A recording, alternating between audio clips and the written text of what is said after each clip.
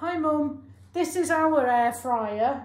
It's a Cosori which we got from Amazon and it's got one drawer. The size of it is probably only to here on my arm and just past my wrist. As you can see, it's got one drawer which comes out like this and inside the drawer is what they call a crisping plate that you use when you want to do chips and things. So you just put the food into there, into the drawer, and then slip it back in and it locks. The air fryer then comes on and on mine it's just a glass panel on the top and I tell it I want to switch it on. It then lights up. I tell it to preheat and it will take four minutes to heat up. If I, there's presets along the top, so if I wanted to do chips, it says fries, and it will set the temperature to 195 for 25 minutes, and it will switch off halfway through so I can shake the chips round, open the drawer, shake them round, move them, and then put them back in again and that's all I have to do. And mine starts up again. Mine starts up again once you've done that. As I say there's presets along the top.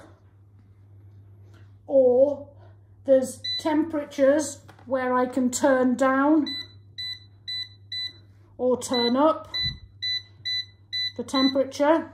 And the same with the time. I can either turn the time down or turn it up. It's got a keep warm. And actually, I'm not sure what that one does. I think that's a restart. If I've paused it, then it will restart it. So if I want to do a preheat, I will push that and it just preheats it to this temperature and it takes four minutes and then I press go. Maybe no, I don't. Sorry, tell a lie. Preheat and then I press that one. That's the go button. And as you can hear, the fan has started up inside. That the outside of it doesn't get hot.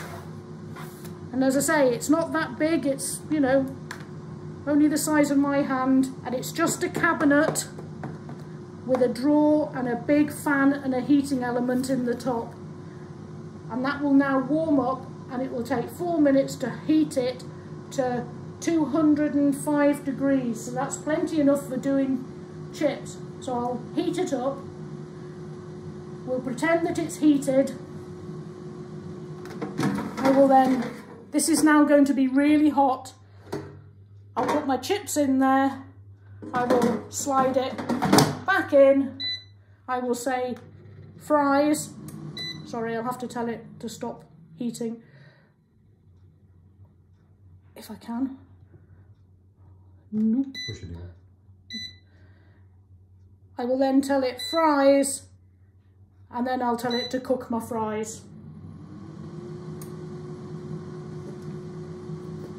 If I wanted to do a lasagna or something of my own that I'm wanting to control, then again, I'll just put it in, close it up, switch the button.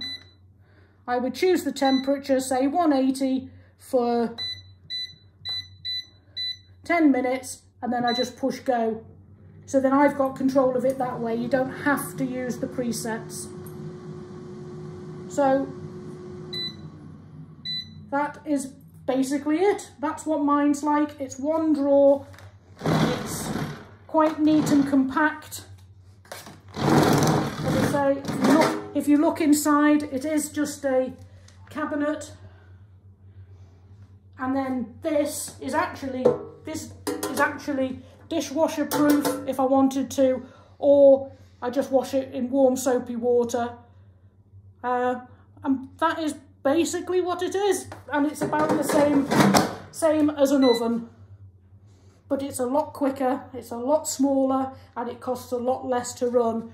And as I said to before, sometimes if I want to double up, I've got this and I'll put the chips in the bottom and then I'll just stand that on top of the chips with maybe some fish on it or some sausages on it and then I'll just put it back in and Bob's your uncle.